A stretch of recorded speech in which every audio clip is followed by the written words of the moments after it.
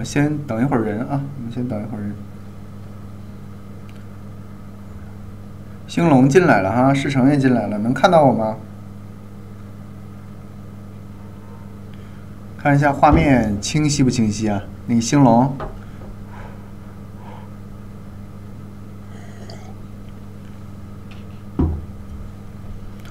啊，于龙也进来了哈，应该能看到我哈，可以是吧？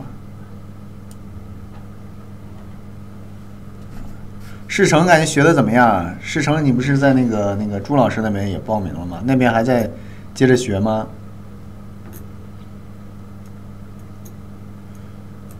啊，火灶神也进来了哈，火灶神啊，你可以给大家介绍一下自己哈。做消防工作的还是挺值得尊敬的啊，守护民生啊，咱们这个火灶神。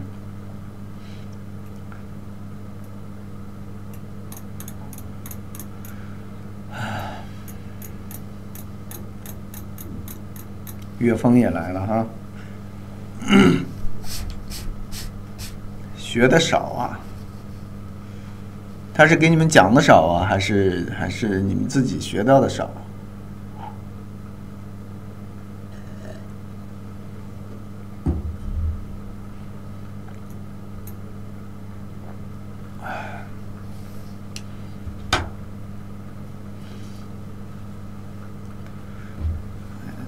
太快是吗？啊，因为这个有些老师确实讲的比较快，就是比较模糊，对吧？有些细节啊不太清楚，或者说有些这个概念不太清楚，比如说什么叫啊根呢？啊，包括这个身强身弱啊，到底什么叫强，什么叫弱呀？还有这个比如。说做呀、引呀这些概念啊，还是，还是得讲一讲啊，还是得讲一讲，要不然这个搞不明白。啊，其实我们拿到一个八字啊，就必须得先判断一下身强身弱，然后我们才能往下论。那个柳德志啊，我给你打个字吧。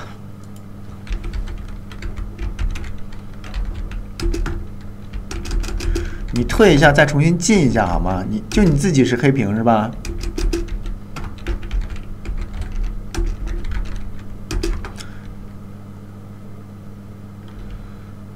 啊，你退一下，再试再再进一下试试好吗？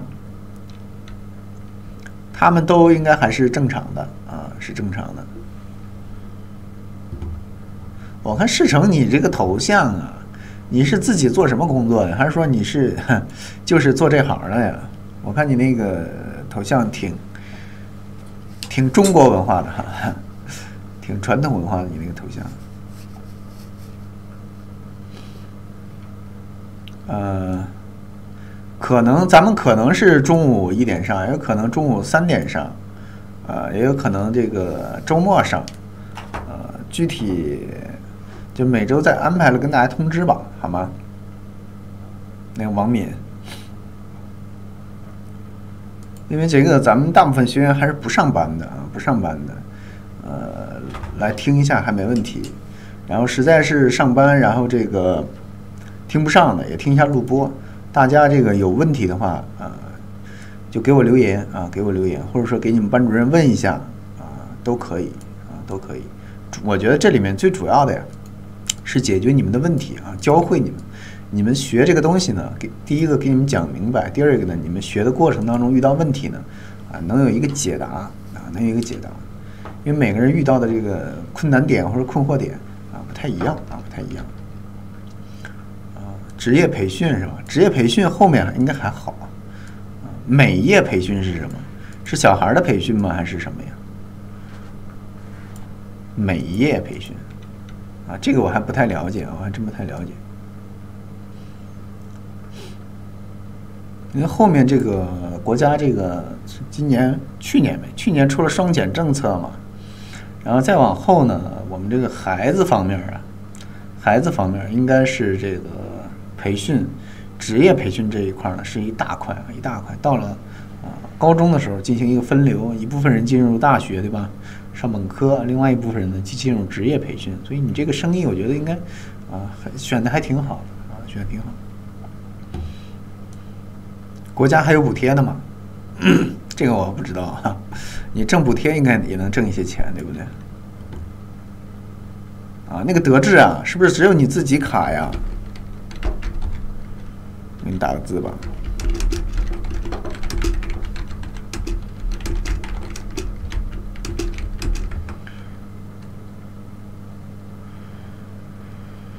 嗯，晚上的时候啊，就是我这个时间不太确定，因为这个总是这个有一些人呢，啊，有局，晚上有约，比较多一点，然后这个我也是尽量给大家往晚上就安排吧，好吗？师承说这个美容师，美容师，医美行业是吧？是医美行业吗？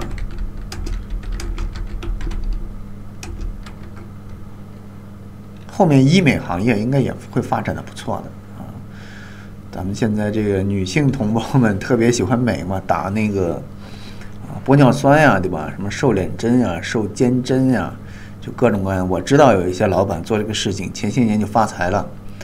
他们怎么做呢？因为做这个医美呢，他是没有啊，他们自己没有没有这个资格证啊，没有这方面的资格证。就是国家在做这个医美这块呢，还是要求比较严格，但是他们偷偷做，对不对？把那个证搞下来就挺麻烦的啊。但是没有证呢，就相当于黑诊所啊，偷偷给人做。有个女老板，这个才多少岁啊？二十二十八九岁的样子啊，二十八九岁的样子，开一辆卡宴，对吧？保时捷的卡宴，然后这个。他自己说，他现在钱都挣够了啊！现在自己钱都挣够了，这都是前几年的事了。然后这个他也没有什么文化，他也没有上过大学啊，就是从这个山沟沟里面出来的，到北京闯的啊，到北京闯。机缘巧合吧啊，机缘巧合，赶上自己的好运了，对吧？赶上自己好运了，就干那么几年啊，钱都挣够了。他是做这个这个医美行业啊，就是这个医美行业的。啊，女性花钱比较大方一点，对不对？反正咱们大家如果有同学这个想创业的，啊，做哪方面的生意啊？做女人的生意，对不对？啊，女人的生意，然后做这个孩子的生意啊，都挺好的。啊，男人的生意最不好做了啊，男人这个消费比较理性啊，啊啊，讲究一个性价比啊，讲究一下性价比啊。长青那个，你昨天给我留言了是吧？我给你回了啊。就你那个奇门遁甲那个事儿 哈，奇门遁甲的，你是在看我们之前的公开课吗？啊，没事儿，咱们之前的公开课也都可以看一看。有些人应该已经看不了了，应该已经看不了。奇门遁甲后面我们会深入的跟大家去讲了深入的去讲啊，比较好玩一些。奇门遁甲，行吧？我看人差不多了，然后我们开始上课。我们今天继续跟大家讲食神，食神挺重要的，咱们就多讲几节课啊，多讲几节课。啊，咱们今天就是讲这个食神里面的，应该是正财拼财了啊，正财拼财啊，阳刃对吧？劫财这个阳刃，呃，怎么讲呢？这个戊的阳刃呀，大家看这个戊的阳刃为午，对不对？戊的阳刃为午啊，午里面是藏什么呀？藏丁己，对不对？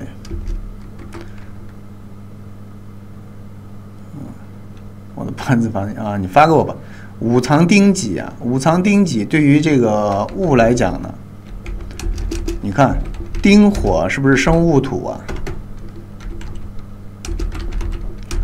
丁火生这个戊土，所以丁是什么？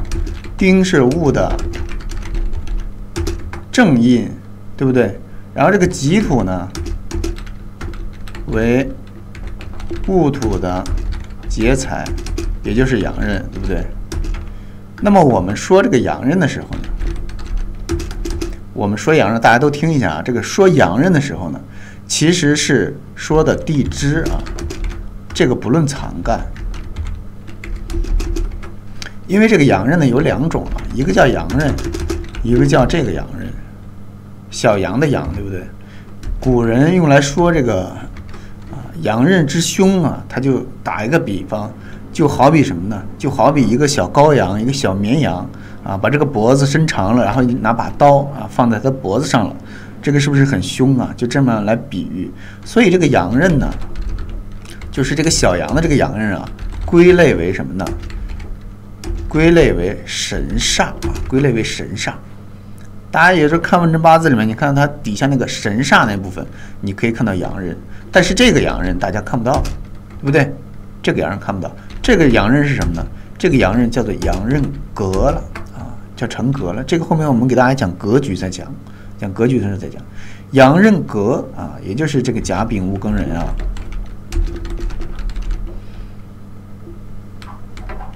甲丙庚壬阳性日主啊，阳性天干呀，它会有这个阳人格这个说法。而所有的比肩劫财啊，禄星对吧？比劫禄刃，这里面的刃啊，说的就是阳刃，还有一个印星对吧？还有一个印，比劫禄刃印啊。说的都是给日主来帮身的啊，帮身的。那么你所困惑这一点呢？你比如说甲丙戊庚壬里面的甲丙庚壬，你都能知道对吧？里面本气就是劫财啊，本气就是劫财，所以呢你比较好理解。但是呢，这个我们从根儿上就理解错了，对不对？甲的劫财呢，就是这个卯，对不对？甲见卯啊，为啊卯为甲的劫财。又叫阳刃啊，说的是地支啊。我们论阳刃的时候，不必给它打开啊，不必打开，说的就是这个地支，而不是卯里面藏的这个乙为阳刃。这样说大家能理解吧？然后到这个啊戊土的阳刃呢，戊土的阳刃就特殊一点啊。戊土的阳刃，我们通常情况下不论按印说，因为什么呢？本气是什么？本气是这个这个。丁火是吧？本期是丁火，丁火是不是为戊的正印呀？所以这个戊，我们看到戊的这个日主的时候，它的阳刃啊，我们一看啊，大部分时间我们先看本气，因为什么？本气力量最大，占百分之七十，对不对？占百分之七十。那它的本气呢，是正印，所以很多时候呢，我们按印来讲。那有时候呢，我们论阳刃，那具体的我们看命主。啊，具体看命主，具体的再来论。我们看整体，大家不要把一个局部拿出来说，我非要定出来一点事儿啊，看出来一个特别具体的事情，这个是比较困难的，而且准确度也不高。咱们一定要啊，把全局啊结合全局来看。我这样讲应该能够理解，对吧？甲丙戊庚壬啊，除了戊，另外四个。首先第一点啊，他说的就是地支，这个地支就是他的阳刃啊。我们不必打开它，这第一点大家清楚的。第二一个呢，戊土呢稍微特殊一些啊，特殊一些，它本气呢是正印啊，本气是正印。当然它是不是阳刃呢？它也是阳刃啊，它也是阳刃，好吧？这样大家应该清楚一点了。然后我们接着说啊，我们说这个啊五行生克的时辰生克啊，也就是这个其实咱们上节课就讲了对吧？我们啊有一个过渡从。八字里面，我们说日主跟其他几个字的关系，从论这个五行的生克过渡到论时神的生克，目的啊是为了能够啊更贴近我们的生活，更方便，更方便，对不对？比肩劫财，时神伤官，啊正财偏财，正官七煞，正印偏印，一共就这十个神。大家记这个相生呢，从这个比肩劫财开始啊，跟我一样的，我的兄弟姐妹，对吧？啊，我的兄弟姐妹就是比劫啊，比肩劫财，简称比劫。然后食神伤官简称食伤，正财偏财简称什么？简称财财。它这个财财啊，啊是这个啊，是第一个财是这个财，第二个财是人才的财啊。正财偏财简称财财啊，也就是这个啊缩写的这个人才的财指的是哪个？指的是偏财啊，指的是偏财啊。大家也可以理解啊，大家应该也可以理解啊。然后正官七杀啊，正官七杀，正正官就是正官。七杀还叫偏财，对吧？还叫偏财啊，偏财就等于七杀了。然后这个正印偏印啊，正印偏印啊，有些人见这个枭神，对吧？枭神夺食啊，比如说这个枭神，枭神等于谁呢？枭神等于偏印啊，这个大家要清楚。你们在别的地方看到资料啊，一定要清楚，这个所谓的枭神就是偏印，因为偏印是什么呢？偏印克什么？偏印克食神伤官，对不对？偏印克时辰伤官。所以有一个这个盲派里面有一个这个这个口诀叫消神夺食啊，食物啊，食物的食，消神夺食。消神夺食是什么呢？如果说一个人啊，我们看他的八字格局，他是一个食神格的啊，食神格的人，那么他就会怕见到谁呢？怕见到偏印，见到偏印就会怎么样呢？破格呀！破格等于什么呢？破格意味着什么呢？意味着事业有损。我们所有的格局讲的都是事业啊，都是你的事业。那你的这个事业有损啊，就好像伤官见官啊。我给你们大概说两句啊，伤官见官什么意思呢？并不是说他八字里面有伤官的。并不是说他八字里面有一个正官，看见伤官就怎么怎么样了啊？不是的，前提是呢啊，他一定是正官成格呀，他是正官格呀，正官格见到伤官。比如说大运流年见伤官，对吧？你本来正官啊成格，然后这个运势不错啊，运势不错，事业做得不错，那么你走一个十年的伤官大运，那你这十年就倒霉了啊，就倒霉了。伤官见官祸百端，对不对？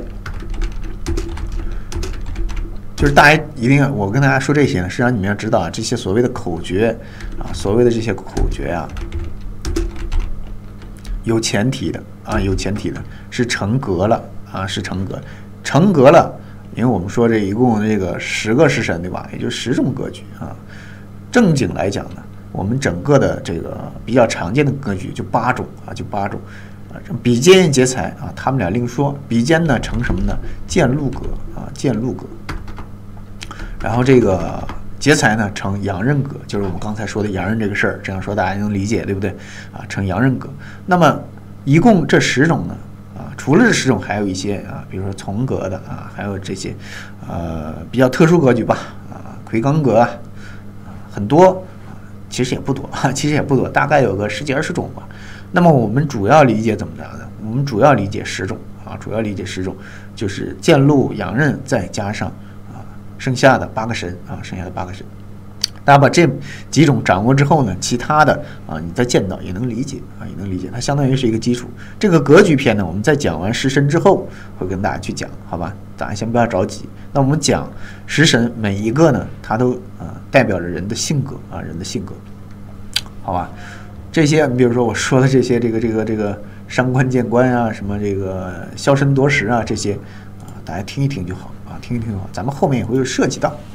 然后这个我们的十神相生呢，这个顺序大家这个要把它记住啊啊，就是比劫生食伤，对吧？比肩劫财生食神伤官，比劫生食伤，这相当于是一个简称，对吧？就是人比较懒嘛，人比较懒，所以就啊容易给它简化，尤其在命理里面很多的这种书籍啊也好啊。写的还是比较简约的，有些人就反映这个看这个命理书啊，就像看天书一样，是吧？看天书一样。反正大家别着急吧，就听翟老师先讲一讲，对吧？讲一讲，讲完之后你再去看一些书呢，啊，你就会发现啊，挺吃惊的啊，我自己竟然看懂了，这意味着什么呢？意味着你学会了啊，你学会，你能看懂这个天书了啊？好吧，比劫生食伤啊。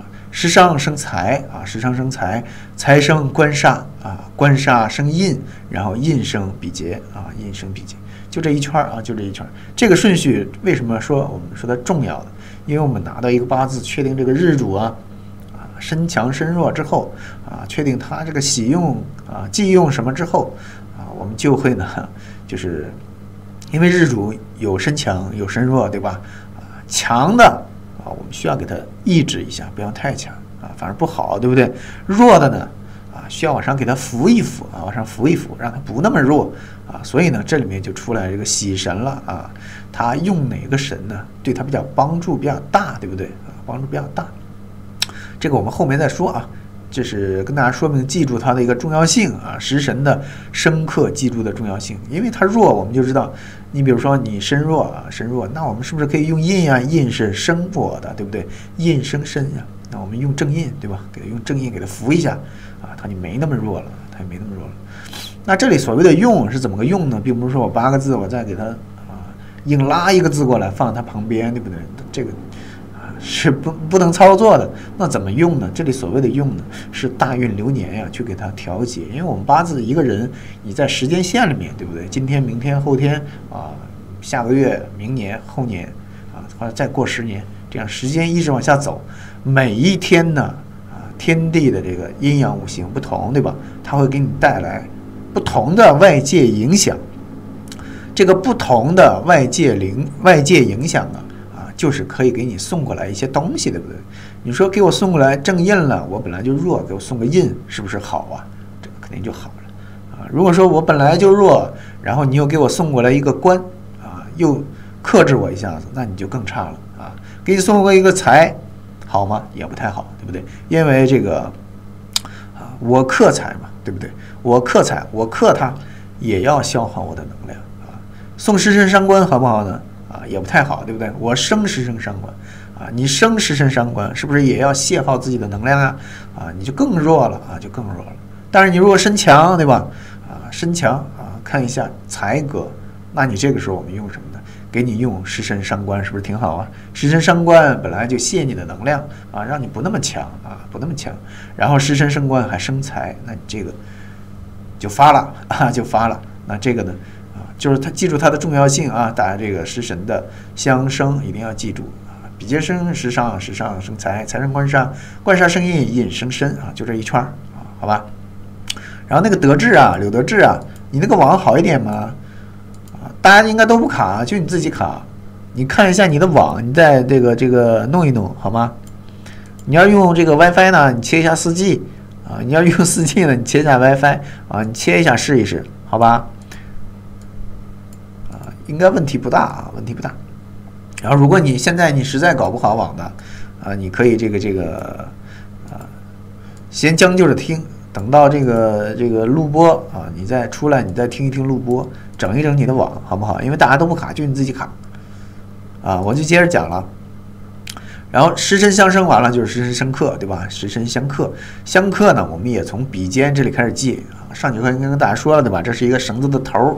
啊，我们从这个头儿开始啊，当然你说我们拿正印当头儿行不行？也可以啊，也可以，两两一对儿嘛，对不对？两两一对儿，大家这个，把它这个归类好啊，同我的、生我的、我生的、克我的、我克的，一共五种啊。比劫克什么的？比肩克财，比肩劫财都是克财的。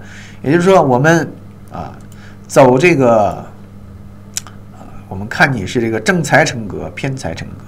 啊，你成格，说明你有事业啊，这喜欢财的，对不对？喜欢财的，那你遇到比肩劫财，这个时候就会出事啊，就是不是普通的破财了啊，就是破产，就是破产。比如说我是正官格啊，七杀格的，那你碰到比肩劫财，就是破点财啊，可能比平时这个订外卖啊花的多一点。今天来了几个重要的啊领导，对吧？请他们去大饭馆搓一顿啊，花个这个大几千，对吧？这是啊这种情况。那如果你是正财拼财格的，遇比肩劫财，那你就害怕了，对吧？你这个就不是去请人吃顿饭了，而是说你自己有个饭店啊，这一年破产了，对吧？干不下去了，是这样。比肩劫财克正财偏财啊啊，财克印啊，财克印，印克食伤，食伤克官杀，官杀克比劫啊，一共就这一个循环啊，大家按照这个去记啊，去记。然后我们。上节课跟大家说的比肩劫财，对不对啊？比肩劫财，大家应该还记得啊。比肩的人什么性格啊？心软，对吧？心软，然后这个啊没长性，然后恨自己啊，怪自己，找内因，然后也比较大气一点，对不对？然后凡事呢还这个亲力亲为的啊，这个是比肩的一个性格特点啊，性格特点。他什么时候这种性格特点体现的比较明显啊？也是在天干里面啊透比肩出来。天干透比肩啊，比如说这个地支里面还有天透地藏了，那这种力量就很大，所以呢，这种情况下呢，他的这个啊比肩的这个这个这个呃性格就体现的比较明显。天透地藏这个概念，我不知道你们理解了没有啊？天透地藏，所谓天透地藏，天透啊，这是一个层说法，对吧？这是第一个点啊。就是相当于两个条件嘛，啊，天透是第一个条件。什么叫天透呢？比如说就是天干有，对不对？天干有某个啊食神，比如说有有某个这个比肩，对吧？我们天干有个比肩，天干比如说啊年柱天干透比肩，或者月柱天干你透个比肩啊，反正就随便哪一个透一个，对吧？透一个，然后地支里面呢啊地藏，对吧？这是第二个条件啊，地藏就是地支藏干呢里边还有比肩啊，非要让他们两个在同一柱吗？不一定啊。第三个啊，不一定在。同一柱啊，同一柱，对不对？不一定在同一柱。比如说这个年柱天干比肩啊，然后我月柱地支比肩，对不对？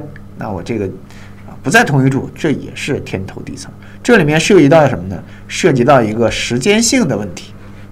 年柱少年时期，零到十五岁，而月柱呢啊十六到三十岁，对不对？那你年柱天干透到月柱地支，就相当于。时间性上面是什么？零到三十岁，对不对？零到三十岁。那如果我引到哪里呢？我不出现在月柱地支了，我出现在日柱地支行不行呢？也可以，对不对？这也是天头地层，这就对应的一个时间性是什么呢？零到四十五岁。如果啊，我还不在这个日柱地支，我在时柱地支行不行呢？也可以啊，对不对？就相当于你零到，对吧？最后啊，你一生啊，啊，你一生。这是这就是你的一个这个事业了啊，这就是你的一个事业了。你临到这个，你比如说年柱上面啊，我这个年柱比肩啊，年柱地支里面也是比肩，天干地支都是比肩，那可以。你这是这个小时候啊，想干点事情。我们说零到十五岁一个人能有什么事业吗？啊，天透地藏啊，大家可以理解为它是你的一个事业。年柱的最不值钱，对不对？十五岁以前嘛，你能做什么事吗？你做不了，啊，哎，最不值钱，基本上不会有事业。所以呢，你只可以解读为什么呢？这个孩子呢，小时候呢，比较有志气一点啊，说是想要挣个几个亿啊，想要挣个几千万啊，想要买个这个北上广深各来一套房子啊，说点大话而已啊，说点大话而已，就是成不了事了。但是你在月柱呢，对不对？你月柱呢，这个天透地藏了，那你就相命啊，二十岁到三十岁之间的啊，自己工作应该做得不错了啊，做得不错。你说他能干成特别大的事业吗？也不一定了。三十岁之前比较困难，对不对？时柱比肩呢，对吧？你时柱天干比肩，然后地支里面有比肩，会怎么样呢？啊，你在晚年的时候啊，可能还会有点事业，还会有点事业。但是我们要知道啊，比肩是克财的，对不对？比肩是克财的。啊，而且呢，比肩不成格呀，比肩不成格，比肩只有一种什么呢？叫见禄格。我们用比肩来跟大家说呢，只是为了跟大家说明天透地藏的概念。你比如说石柱，你天干偏财，地支还偏财，那你就相当于晚年有事业了，对不对？晚年还有一番事业啊，这个就是啊所谓的天透地藏。大家先明白这个概念啊，先明白这个概念。至于啊，我们说这个天透地藏成格局了，咱们后面再说啊，后面再说。咱们前面带一嘴啊，带一嘴。天透地藏的概念大家知道，很重要啊，很重要。然后呢，里面涉及到这个呢，还有一个问题啊，就是这个自作，对不对？这些概念呀，自作还有这个引。什么叫自作呢？啊，自作什么意思呢？就相当于说我们这个。天干做地支嘛，这指的是同一柱啊，对不对？天干做地支，这指的是同一柱啊。我月柱天干是一个这个辛，对吧？月柱地支是个卯，我辛卯啊，也就是辛自作为卯啊，这指的是同一柱上面的。我们论坐啊，指论坐天干和地支的关系。那引呢？引。指的就不是同一柱了比如说刚才咱们给大家举的例子，对吧？啊，我年柱天干比肩啊，我这个月柱地支比肩，这是不是从年柱引到月柱了呀？啊，它引过去了啊，引呢就涉及到一个时间性的问题了，对不对？我跨了多少年啊？跨了多少年？对吧？这个大家就理解了啊，这个就理解了。一个坐，一个引，哈，一个坐，一个引。引呢，就是在不同的柱之间呀，啊，有这种时间性的关联。因为什么而引呢？因为天透地藏而引的，对不对？我这个年柱啊，天干啊，偏财，然后时柱地支啊，我还藏了偏财。对不对？年柱天干偏财，时柱地支偏财，这是不是画了一条斜线过去了？对不对？我们可以简单的理解什么呢？引就是斜着画的线，对不对？从那边啊，从这边 然后斜着画过来，然后地支呢就是向下竖着画的线，对不对？自作同一柱啊，这个大家要清楚啊。清楚之后我们接着讲。那么今天跟大家讲这个正财偏财啊，正财偏财啊，对于这个在六亲关系里面啊，这个大家还是要记一记啊，要记一记。正财偏财啊，首先我们先说这个正财。正财对于男命来讲就是妻子啊，妻子在六亲关系啊。当然我们说正财还代表什么？代表钱嘛，对不对？但是在我们的六亲关系、家庭关系里面啊，对于男人来说代表妻子，对不对？代表妻子。那么女命来讲呢，代表什么呢？代表父亲啊，尤其是在年柱上面的时候，代表父亲。然后呢，代表丈夫啊，代表丈夫。那么啊，偏财呢，对于男命来讲代表什么呢？代表这个，相当于就是啊，这个这个小妾，对不对？然后这个呃小三，对不对？偏财啊，偏财。如果在年柱上面呢，代表父亲啊，因为我们说偏财还代表钱嘛。你在年柱上面，少年时期自己挣不到钱嘛，所以就是父亲挣的钱嘛，大概就是代表父亲。然后女命来讲呢，偏财也代表父亲啊，也代表父亲。这个就是。这个意思啊，这个意思在年柱上面啊，在年柱上面，尤其是女命在年柱上面才代表丈，才代表这个丈夫和父亲啊，丈夫父亲。如果说是你不在年柱了，那就不代表了，对不对？因为女命也可以挣钱的嘛，对不对？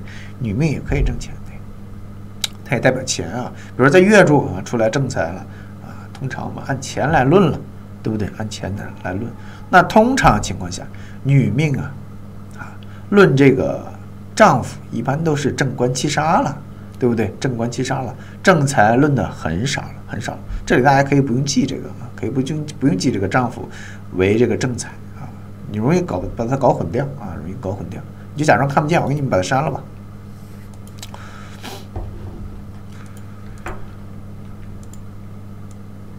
哎，大家就这样来记啊，就这样来记，没有问题。通常女命正财去论父亲的情况太少了啊，太少了。然后我们这个正财偏财啊，在六七里面的关系就是这样。然后我们接着往后走。那什么叫正财？什么叫正财啊？其实咱们已经这个跟大家介绍过这些概念了，对吧？我克者为财呀，我克者为财。这个所谓的我克，这里的我指的是谁？指的是日主，对不对？日柱天干呀，就是这个以我们这个例子为主，就是这个戊土嘛，啊，阳土。土克什么？土克水啊，土克水。我克者为财，对吧？我克者为妻财。那这里面这个啊，癸水是不是就是戊土的正财呀？啊，阳见阳为偏啊，阴见阳为正，同性相见为偏啊，异性相正为正。比如这里不是这个癸，这里是壬，对不对？是壬水啊，这个壬水为阳，戊土为阳，阳见阳，所以这里就是偏财了，对不对？那这里呢是正财啊，是正财。给大家下面写了一下，什么甲见己，什么乙见戊，丙见辛，丁见癸，啊，这这个你们自己去捋一捋吧，好吧，自己去捋一捋。所谓的甲见己，就是甲为啊，就是己为甲的正财，对不对？然后木克土嘛，木克土啊，因为我觉得这样写可能不太合适啊，就甲谁见谁啊，谁见谁，你要搞清楚谁是谁的，对不对？谁是谁？谁是啊主动的，谁是被动的啊？我们这里面甲为主动的对不对？己土为被动的，谁克谁嘛。然后乙见戊啊，也是一样的，乙木克这个戊土嘛，乙木克戊土啊，这样大家搞清楚啊，这个这这这个东西。所以戊土为乙木的啊正财啊，乙土戊土为乙木的正财，辛为丙火的正财，庚为丁火的正财啊，挨个啊，依次依次这样你们去推就行了。其实本质还是什么？本质就是五行了啊，本质就是五行，丁为火，庚为金嘛，啊，火克金嘛，对不对？啊，这个就是正财的这个概念啊。然后食神的，我们看正财的，它里面它是一个什么性格呀？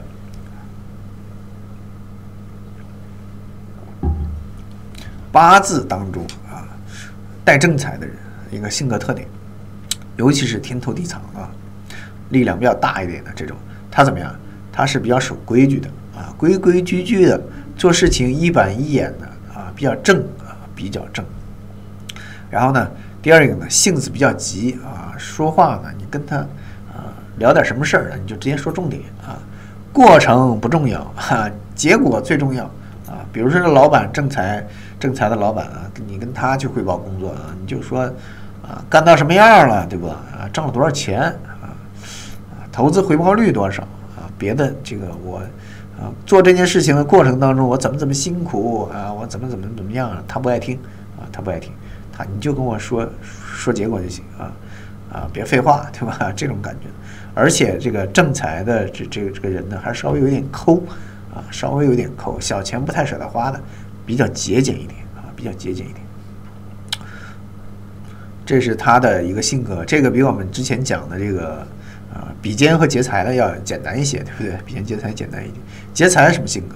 劫财是保护自己，对不对？啊，比较傲气的啊，比较有距离感的，有架子的啊，遇到自己利益受损的不退让的啊，这是劫财的人啊。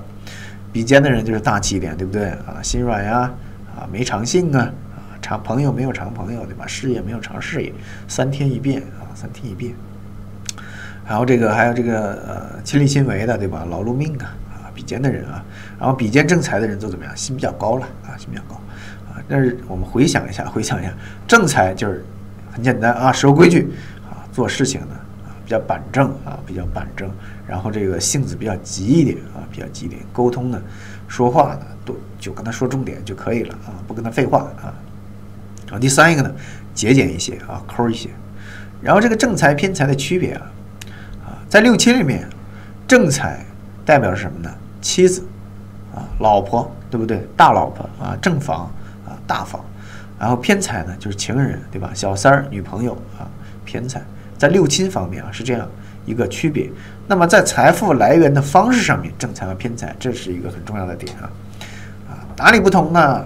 正财啊，就是你踏踏实实上班啊，稳稳定定的啊，板板正正的啊，你是当个公务员也好啊，还是当一个公司的这个职员也好，经理也好，领导也好啊，反正就是你踏踏实实啊，辛辛苦苦劳动挣的钱啊，这种钱是不是比较稳定啊？我下个月啊能发多少工资，这是固定的吧？对不对？你都能这个有预计的啊，有规律的啊，这种收入叫做正财。偏财呢，就是不太有规律的啊，不太稳定的。比如说做生意的，比如我们那个世成是吧？他是做生意的，他有可能明天赚了八百万啊，说不好 啊，说不好，这就是所谓的偏财。它相当于是横财啊，横财。还有你比如说这个家里面老家里面房子搞不好是拆迁了，对不对啊？突然呃给你发个三四百万，哈，这个也是属于偏财的。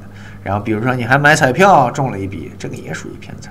那这种情况是不是比较少见呀？比较少见，大部分多的还是说做生意啊，做的稍微大一点的啊，可能每天这个大几十万的这种啊，也不能说大几十万吧，每天有个十来万啊，这种这种营业额的这种，对不对？也算是还可以了。这种生意，你十来万的营业额，怎么也得啊，毛利的话怎么也得占百分之五十吧，对吧？你也能。啊，五万，然后再发发人员工资啊，啊，房租水电再摊一摊，怎么也能挣个一天也能挣个一两万块钱吧，对不对？一个月三十万，一年多少钱？三百多万，这个生意不小了啊，不小。然后这个是偏财啊，就是你不知道明天能挣多少，也有可能会亏嘛，啊，也有可能会亏，这正偏的一个区别啊。那么在破财方式上，两个也不一样。比如说正财的人。啊，他是一个慢慢的破财的过程，他是时间很长的啊，时间很长的。而偏财的破财，是不是这个有点像我们比肩和劫财呀？比肩克财啊，克也是慢慢的克掉的啊，劫财啊，克财怎么样？一下子克掉，这跟这个正财偏财很像啊。正财偏财破财的时候啊，也是慢慢的破掉的。而偏财的人啊，如果说这他破财，他就是迅速的啊，迅速的。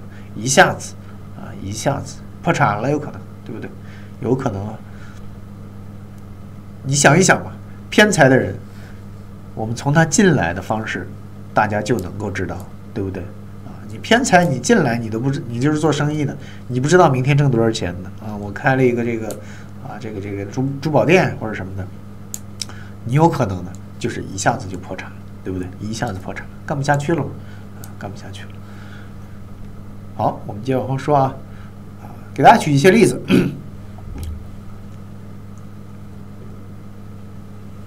比如说年上正财，年上正财其实很简单了啊，就是家里总会有点钱，不会是那种特别贫困的啊，特别啊这个这个一般的那种不会是，他稍微他总会比这个普通人啊，比如说这个村子里面对吧，就他们家啊，他们家他自己哈他这个八字年上正财什么的，他们家小时候的这个环境呢，比周围的这个邻居啊什么的还是稍微好一点点啊，稍微好一点点。当然也不会说这个年上正财家里面就是个土财主了，不可能的哈，也不能这么去论啊，不能这么去论。那我们其实可以怎么样去看呢？比如说你年上正财啊，往下一坐，这叫做这个同一柱里面，对不对？同一柱里面，看你做哪个地支了，对不对？己土啊，我随便举例啊，大家比如说他做了一个这个这个啊，呃，比如说做了一个绝啊。这个所谓的绝呀，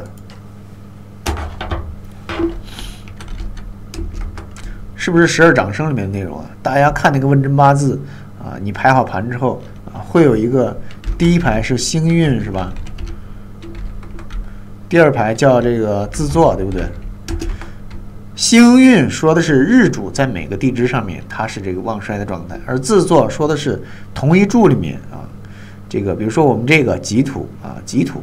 它自作一个什么东西？比如说，我们它自作绝，它自作绝，正财作绝什么意思啊？他出生之后啊，他们家他父亲家里面他父亲这个工作啊，他父亲挣的这个钱绝呀，就是不会再往上走了，不会再往上走，一个月每个月就是啊六千块钱啊，就是六千块钱，不会再有大的发展了啊，不会再有大的发展。你比如他做的是什么？做掌声，正财做掌声。他出生之后，他父亲啊，这个财运这个工作啊，会是一个上升的状态啊。一岁的时候啊，一个月五千块钱啊；两岁的时候，一个月六千块钱啊；七岁的时候，可能一个月一万五，对不对啊？他父亲的这个啊财势是往上涨，是往上涨。你再比如说，我们说这个甲木日主，比如说他这个啊，我们说正官七杀代表这个女人的老公，对不对？比如说这个甲木日主啊，正官，月上正官，做绝，就是女人的老公做绝，什么意思呢？就她老公啊，工作能力一般了，就不太能挣钱了啊，不太能挣钱了啊。比如说正官做绝，对不对啊？工作能力一般。如果说不是做绝呢，比如说做灵官，做灵官什么的。老公有办法了，对不对？很能挣钱啊，很能挣钱，这个就是里面的区别了啊，里面的区别。这个大家先不管它，我们讲旺衰的时候跟大家再去讲这个事情。然后这个年上正财你就理解啊，加上家里总会有点钱。除了正财呢，还有什么呢？正财啊，正印啊，正财正印啊，这种还有正官、正财、正印、正官这三个年上一坐啊，年上。正财、正官、正印怎么样？小康之家嘛。放到以前来讲，清朝，你年上正财、正官、正印，家里面我们会说他什么呢？书香门第啊，书香门第啊。比如说这个正财啊，家里有点钱嘛啊，可能做生意的啊。正印啊，家里父辈读书人啊，读书人。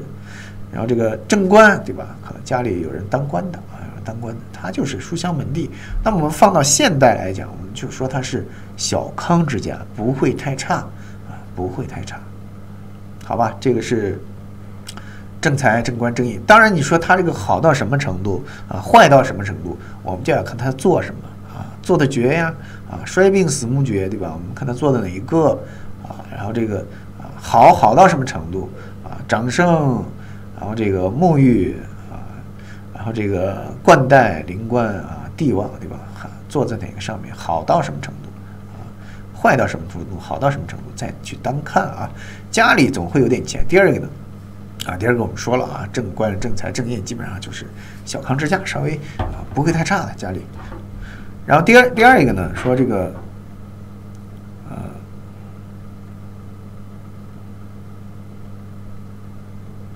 嗯，好，第二一个呢，说这个年上正财被比劫克啊，被比劫克，什么意思呢？第一个啊，我们说这个劫财克年干的正财，家运败落啊，家运败落。比如说我们这个例子啊。啊庚日主对吧？这个小女孩，然后这个月柱天干见辛啊，辛为庚的劫财，对不对啊？庚见庚为比劫啊，辛见庚为劫财啊，五行一样，然后这个是啊阴阳不同啊，阴阳不同，这就是它的劫财。然后年上正财，年上正财，它什么呀？你比如说我们这个例子啊，刚才给大家说的这个年柱啊，年上正财，乙做卯。旺不旺呀？很旺啊，对不对啊？乙卯很很旺的啊，它很旺。但是见到这个什么呢？月柱天干劫财呀，相当于它这个是什么？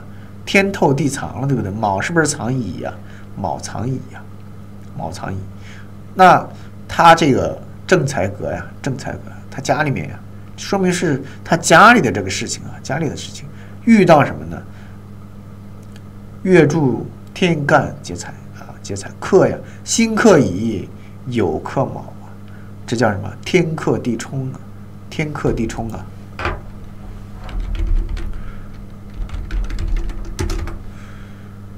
这种天克地冲呢，他们家的钱，他父亲的钱，他爸爸的钱啊，在他小时候啊，啊，他父亲这个事业败落了啊，败落了。天克天克地冲啊，天干也克啊，地支也冲，卯酉冲嘛。对不对？其实冲就是克，对不对？卯酉啊，酉藏什么？酉藏心嘛，对不对？酉是藏心的，心是不是心金呀？啊，卯藏什么？卯藏乙呀，对不对？其实是不是一样啊？你看，天干是辛金克乙木。地支也是啊，地支也是辛金，哎，打不出来了呢。辛金克乙木，天干也克，地支也克，那他们家啊，家运败落啊，家运败落，对不对？然后第三一个呢，同父亲关系一般啊，同父亲关系一般，那什么意思呢？啊因为他的出生，他们家里啊家运败落了。当然，他父亲不知道啊，他父亲不知道是因为他的出生，他们家家运败落了啊，而是什么呢？啊，在这种啊关系的相处当中，他是一个啊不太亲近的关系啊，不太亲近的关系。大家应该见过这种吧？见过这种。你比如说这个，你你可以想象啊，一个呃什么样的父亲呢？啊，年少的时候这个意气风发，年少有为，对不对？然后成家立业之后呢，啊，家运败落了啊，败落之后呢，这个男人是不是郁郁寡欢的？是不是这个有点这个小情绪啊？啊，有点这个啊受挫嘛，有点受挫，性格可能会发生一些变化啊，他对于跟子女的关系稍微有点距离啊，稍微有点距离。当然，我们说啊，这种关系一般啊，是两个人的性格造成，两个人的性格，人与人的沟通造成的啊，八字里面这样来断的。你说这一条我们去用跟人说吗？同父亲关系一般，不用说呀，对不对？不用说，没有人来找你看八字，说看一看我跟我父亲关系怎么样啊？他也不关心这个问题啊，他不在这个里面来论的啊。这个是年上正财被比劫克啊，这个大家记住一下啊，记住一下，还是比较有代表性的啊。天克地冲啊，天克地冲。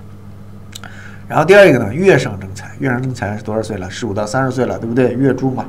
月柱十五到三十岁，啊，比如说这个男性日主，对不对？男性日主，人日主，人水日主，啊，啊，我在电脑一直没有看到月有啊，没事啊，何卫，你就看录播也可以，然后你听不明白了你就给我留言，好吧？你应该有我微信，好吧？啊，然后这个壬水日主，然后这个月柱天干啊是一个丁，对吧？丁火，那丁火见壬水啊，水克火嘛，我克者为财啊，他们俩阴阳不同，所以正财啊正财。那这里面这个正财什么意思呢？我克者为妻财，对不对？我克者为妻财，那这里正正财是什么呢？是老婆喽，对不对？啊，这是三十岁以前了啊，三十岁以前了啊，二十二十郎当岁，对不对？二十来岁的这个年纪啊，就是三十岁前可以遇到可以遇到一个可以结婚的妻子，一定会结吗？啊，也不一 不一定，对不对？不一定会结的。然后第二个呢，这种人呢就适合早婚了啊，适合早婚。比如说他上面有正财，这个位啊，位藏什么？己丁乙，对吧？丁是不是也是正财呀？也就是他二十出头能遇上啊，三十之前还能遇上，二十五六岁、二十七八岁还能遇上。也就是他在这个啊月柱里面啊，正财挺少啊，挺多，对吧？正财挺多，那就适合早婚嘛，适合早婚，早点结婚，对不对？就是这个啊，月上正财，然后还有什么自作正财？比如这个例子啊，戊土啊做子啊，子见戊为正财啊。子里面藏什么？藏鬼，对不对？鬼见戊啊，为正财。自作夫妻宫位呢是啊，我才上去，我可不知道为什么啊。没事啊，那个刚进来也没事儿。那个咱们还有录播，然后这个前面我们讲的呢也没有特别艰深晦涩的啊，你可以先听一听啊，先听一听，然后听不明白了你就给我留言，好吧？我再单独给你说一说啊。然后这个自作正财呢，就是。因为我们知道啊，月柱地支呢是啊夫位和妻位，对不对？夫位妻位就是什么意思呢？就是夫妻宫啊，这个你可以理解为宫就是位置的意思，也就你是日主为男，下面就是妻子的位置啊；日主为女，下面就是老公的位置。如果说你是自作正财呢，也就是男性日主自作正财，相当于这个什么呢？你自作夫妻宫啊，自作夫妻宫，这是非常好的，起码夫妻关系会比较不错啊，比较不错。第二个呢，收入稳定啊，收入稳定，自作正财嘛，因为财不指，不仅仅指老婆，对不对？还指这个我们挣的钱啊，你这个收入是很稳定的，但是呢，你也不要期望太高了啊，期望太高，说我就靠着每个月这个五千块钱我就能发财了，不可能的，对不对？不可能的呀，啊，这是一个啊，通过时间慢慢积累起来的钱啊，这个正财。然后第三一个呢，怕冲醒啊。基本上这句话是废话了，怕冲醒都怕冲醒，对吧？都怕冲醒，都不喜欢冲，都不喜欢醒，啊！当然我们具体来看，当然有些不好的啊，冲醒来了把不好的冲走了，那是喜欢的啊，那是喜欢的。OK，这是我们的自作正财。我们说男性是这样啊，自作正财啊，父亲恩爱。那女性呢？比如说这女日主自作什么？自作正官啊，自作正官就跟这个一样了，父亲恩爱嘛。正官是女人的老公了，对不对？女人的老公啊，这里稍微有点区别啊，大家知道就行。然后自作正财还有什么呢？哎，这怎么两个都一样？自作正财不能指望太高。也，跟大家说了，孤居无力啊，搭配正官发了啊。这里所说这个意思，什么意思呢？就是财、官、印啊，这三者呢，大家都挺喜欢啊。财、官、印啊，这个官嘛，一看。可能要当官了，对吧？可能要当公务员了，当市长了，或者说是我在公司里面当领导了，啊，印呢，可能是这个人有学识、有学问了，对不对？啊，财呢，对吧？要发财了，这些大家都喜欢。但是呢，我们说这个财官印三者呢，一个单独出现都是比较没有力量的啊，比较没有力量。比如说，我们说这个财，如果只有钱，在古代来讲没有官，只有财，他会怎么样呢？受人欺负啊。受人欺负，在以前，只有钱的人是不是这个挺没有地位的呀？经商的嘛，以前这个文人社会啊，对于经商的人啊，不大瞧得起啊，不大瞧得起。我记得白居易有一首那个，呃，叫不是《卖炭翁》啊，是《长歌行》还是什么？说那个老大嫁作商人妇，对不对？有我记得有那么一句啊，老大嫁作商人妇，就是年纪大了之后啊。啊，嫁给了一个商人当老婆，啊，商人当老婆，因为那时候商人是没有什么地位啊，没有什么地位。那么，所以呢，我们这个财也是一样，财啊，对的，自作正财是看藏干里啊。我们把这个地支给打开，论正财偏财啊，论这些东西啊，论这些东西。除了我们那个阳刃啊，我们那个阳刃是不一样的啊。然后我们这个啊，你要去搭配什么呢？搭配正官，比如说这个天干上面再透一个官出来，有官有财，你就不会受欺负了，对不对？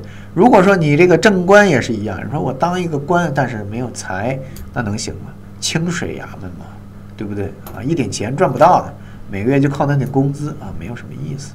那这个官就做着没有什么意思啊，财生官嘛。对不对？财生官，你这个官一定要有钱，别人来奉承你，来给你拍马屁的，才会是真心实意。你说这官不带财，说明什么呢？说明你给别人也办不了什么事儿啊，办不了什么事儿，所以别人不会给你送钱嘛，对不对？这个价值观有点偏了，对不？但是呢，我们从现实当中去看，说哪个当官的不会贪一点呢？都会贪的啊，都会贪，多多少少而已了。职务之便嘛，职务之便。然后这个官啊，配财也可以，配印也可以，也就是财官印三者，最好是啊，三个都有。那三个都有的八字多吗？不太多啊，不太多，挺少的啊。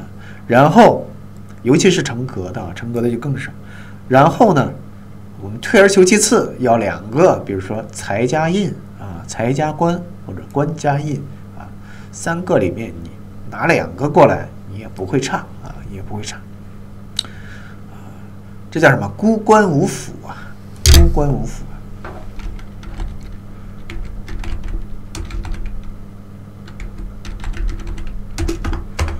啊，孤官无辅啊，只有一个官，你不能为别人挣钱嘛，别人来辅助你的啊，啊，就会就不来了嘛，不来辅助你了，对不对？你不能给别人带来这种啊钱嘛。对不对地位啊，这些东西，名声啊，这些东西你都弄不来啊，那你这个官当然也没劲啊，当然也没劲。别人这个应该也是缺少一些啊 心腹啊，缺少一些心腹的。这自作正财啊，还有什么？自作正财受冲啊，自作正财受冲。比如说我们这个例子啊，戊土日主，对不对啊？自作。这个癸水啊，子为癸嘛，子藏癸啊，癸水子午一冲啊，也就是月柱地支和你日柱地支子午相冲，对不对？子午冲啊，丑未冲啊，啊，那些你们自己去记啊。最怕日月对冲啊，日月对冲啊。我们说四个柱里面最重要的两柱就是月柱和日柱。月柱、日柱是你的什么时期啊？青年、中年时期，人生当中最身强力壮的三十年。如果这个日月对冲，那你这相当于最年富力强的三十年啊被冲了，你的婚姻也好，你的事业也好，不会消停的啊，不会消停的，啰啰嗦嗦，麻烦事特别多，停息不了啊，今天这样，明天那样，开个店吧啊，今天工商的来啊，明天法院的来啊，后天这个消防的来啊，大后天这个。当地的小混混来，反正你就是消停不了吧，就是消停不了。然后这个婚姻呢，啊，婚姻也是一样。这个子午一冲啊，冲的是哪里？冲的是你的这个老婆这个位置，对不对？老婆这个位置，啊，你这个你想踏踏实实上班顺利吗？在单位工作也不顺利。你说这里正财，我在单位踏踏实实上班的，这里一冲，上不痛快，上不痛快，或者说就是升不上去嘛，啊，升不上去。好吧，这个是我们的这个。受冲，那这下面写这个日月冲啊，比较严重啊，比较严重，大于日时冲啊，大于年月冲啊，年月冲，因为年月对冲，比如说年柱和月柱对冲，这什么时候的？三十岁以前，对吧？三十岁以前你经常受冲啊，这个还好啊，三十岁以前嘛，过了三十岁就好了嘛，后面对不对？那你要是在这个啊月柱和日柱一冲，那你这人生最辉煌这个时间不太好了，对不对？在啊，严重一点，或者说我们这个次之严重吧，日食一冲啊，日食一冲，这个也是，对不对？也是，你这个这个后面啊，晚年包括你中年的后半段，对吧？你这样一冲啊，也不太好的啊，也不太好。日月最不好啊，日月最不好。然后时上正财，时上正财什么？四十五岁以后啊，四十五岁以后，那这种布局的人呢？啊石柱天干 透一个正财的这种人的个性呢，尤其的急躁。我们说正官格的人，这个正财格的人，他是这个做事情比较急，对吧？性子比较急。如果他石柱天干再透一个正财，那他是尤其的鲁莽了啊，尤其的鲁莽，好吧？然后啊，这个行做事没有车主性，这个就不说了。时支带冲行，做事没有常主性。呃，也就是在我们这个石柱的下面啊，也就是乙啊下面啊带一个冲啊，带一个行啊，这个就不说了，这个没什么用。然后时上正财做阳刃啊，时上正财做阳刃，什么意思呢？就是您的晚年这个正财做了阳刃啊，晚年破财嘛。阳刃是不是克财的？阳刃本质是什么？本质是这个劫财，对不对？比肩劫财都是破破财的。你正财偏财做阳刃啊，都没好事啊，都没好事，都要破财啊。然后你婚姻呢还没有依靠啊，正财是不是还代表老婆呀？这是对男性来讲啊，老婆啊，晚年老婆做阳刃啊，啊，晚年婚姻没有依靠，可能是孤寡呀，对不对？孤寡。然后时之做正财啊，我们会说这个人啊，哈，可能是双妻之命啊，双妻之命，什么意思呢？啊，正财是不是老婆呀？啊我们通常按人之常情来讲，你到了晚年啊，你这个啊，呃六七十岁了，对对吧？这里我们说四十五岁以后啊，四十五岁以后，上面七岁半，下面是多少？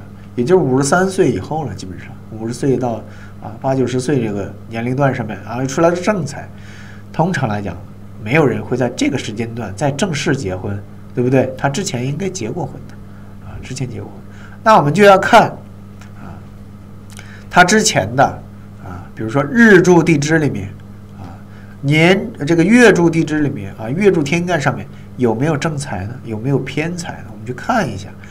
比如说他日柱地支啊啊，比如说这个庚啊下面也做了个正财啊，也做了个正财，那就是说前面有正财，后面又出来正财，前面有老婆，后面又有老婆，那前面这个老婆。啊，到底是为什么这个没有了，对吧？又续上一个老婆呢？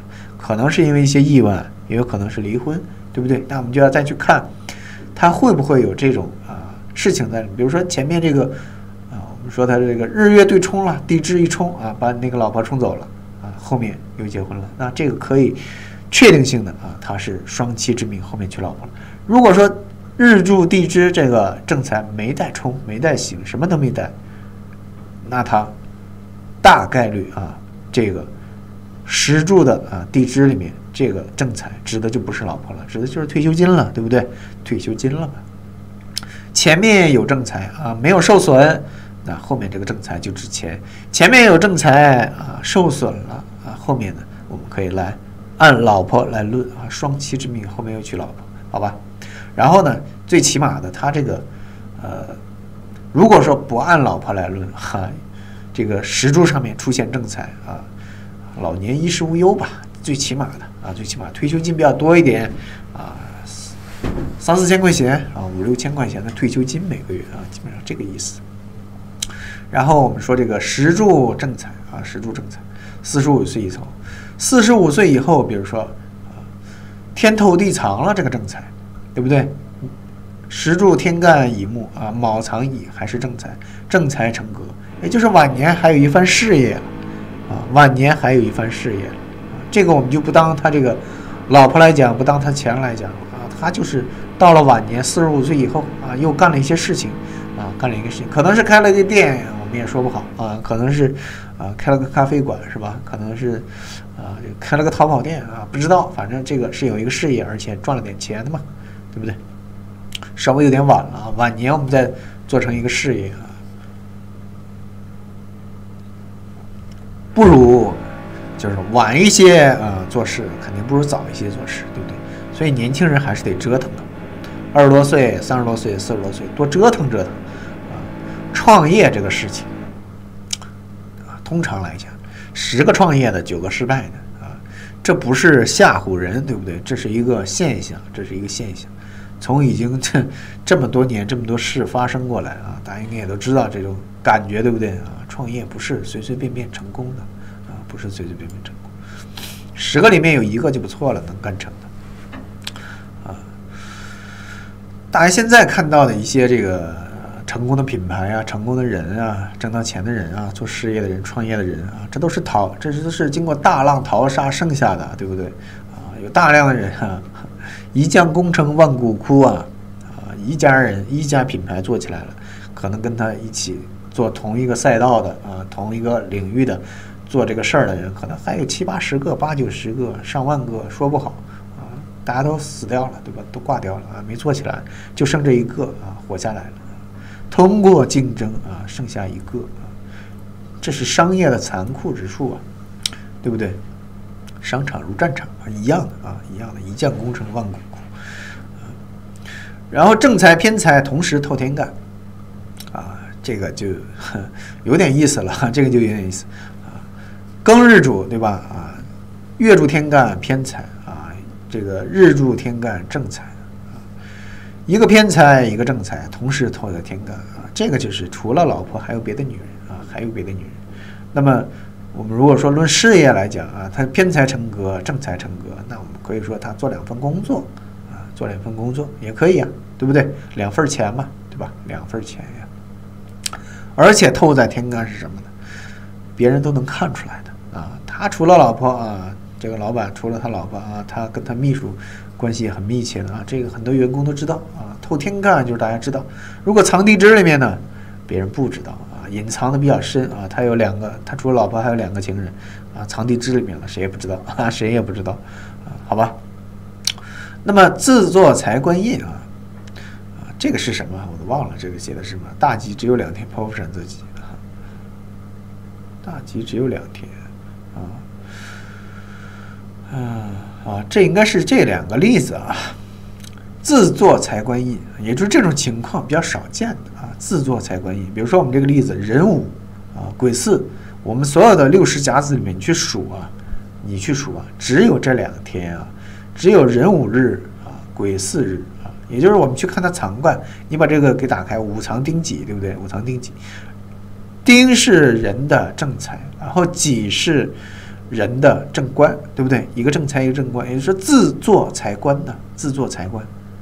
而这个癸巳呢，右边这个藏干巳藏什么？丙戊庚，对吧？丙戊庚，那丙为癸的正财，戊为癸的正官啊，庚庚呢为癸的正印，财官印啊，财官印。那自作财官印，这种好不好？这种太好了，对不对？你去给人剖产择吉，如果能择到这两天什么局，壬午日出生啊，癸巳日出生。非常好，自作财官印，这个孩子将来长大肯定不会差的啊，肯定不会差。如果说他不但啊自作财官印，比如说我们这个癸巳啊，癸巳啊，他还什么呢？同根透出啊，我给你们写一下啊。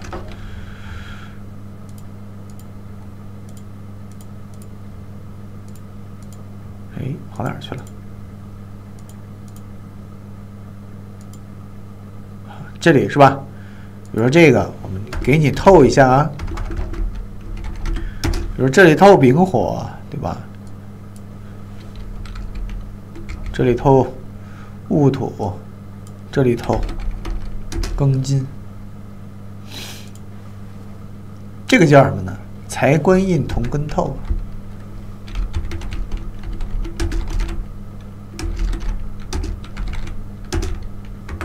对不对？财官印。同根透哪里？透天干嘛，对不对？你自己自作的财官印啊，透到哪里？透到天干上面啊，透到天干上面。那你这个人这个运势这一辈子啊，没法说了啊，好到没边儿了。这个人基本上就是好到没边儿了啊。正财透年干，对吧？年上正财，家里会差吗？家里不差啊。月上正官，对吧？正官还成格啊，正官还成格，也就是。二十多岁一直到这个四十多岁，那这个走正官格啊，官运呀，走官运呀，走官运。即使不能当官，也是一个大企业的领导。那这个你这个又啊又带印，对不对啊？庚又透在时柱的天干上面，这个财官印全呀，财官印全透天干啊，没法再好了，没法再好了。当然还有比他好的，还比他好的。我们说好的八字，他这个八字里面。是不是带点一点小毛病啊？带点小毛病，然后给他用点药啊，给他用点药，相当于你就是看八字，就是给人看病啊，看出他八字里面有什么啊，有点小问题啊，问题不要太大啊。比如说有些人这个格很多的就很难调回来，很难调回来。这个例子啊，例子。那么上面说的就是正财了，偏财呢，我们讲快一点啊。偏财呢，我克者为财，对吧？同性相见为偏，这个大家都理解了，同性相见嘛。啊，癸水为正财，啊，壬水为偏财。那么这里夹了一句啊，真正高命的人都是偏的啊。比如说这里面，其实就是所谓说的凶神啊，凶其实不凶啊。比如说七杀啊、伤官啊、劫财啊、偏财啊、偏印啊，这些都是偏的，对不对？真正高命的人他是偏的啊，是偏的多一些啊，偏的多一些。偏的出格呀，它比较大气啊，比较大气。因为我们说这种偏印啊，因为这里面我们后来讲格局的时候，就会有一个概念出来，叫什么呢？顺用和逆用的问题。你比如说这个财、官、印，只能顺用。只能顺用的意思是什么呢？就是不能克啊，不能克。比如说我走这个财格，对吧？我走这个财格，那来一个比肩劫财，那我就完蛋了啊，我就完蛋了。只能怎么样？只能扶他，只能生他啊。这个是只能顺用的财官印。那比如说七杀格的偏这个呃伤官格的。七杀格、伤官格，比如说这个这个阳刃格，对吧？等等吧，这些偏的呢，偏的呢就是顺逆两用啊。顺逆两用，顺逆两用，你比如说这个财官印啊，只能顺用啊。具体什么意思？后面再给你们讲啊。我们先理解这概这个这个一个概率问题。只能顺用，就是说。你得到大运流年，也就是得到时间所带过来的五行给你的帮助，你只能顺用。比如说，你就只能得到一份儿，对不对？如果说我顺逆两用呢，我得到的帮助的可能性是不是就翻倍了呀？对不对？啊，时间性这个东西过来啊，啊，有可能是好，有可能是坏。那如果说只对于啊能顺用的人来说，啊，它好的可能性百分之五十，对不对？啊，百分之五十。那顺逆两用呢，就是百分之百啊，就是百分之百。当然，这个不是绝对百分之五十、百分之百啊，我只是举个例子，对吧？也可能是百分之十和百分之二十啊，就是翻倍的关系啊，就是得到好的啊运势的几率是，就是顺逆两用的是这个顺用的两倍啊，两倍。所以呢，偏的人呢，就是偏的成格的呢啊，更大气一些啊，或者说他走好运的几率。更大一些啊，更大一些，正官、正印、正财呢，都比较规规矩矩了，对不对？规规矩矩。那如果我们放到人生道理上面来讲，所有的偏的，比如说七杀，七杀什么东西？七杀对应的就是是非了，啊，是非坎坷、麻烦啊。我们说一个要做大事的人，他不带七杀做不起来的；一个普普通通的人，就是平平般、平平安安，每天太太平平过日子，对吧？早上。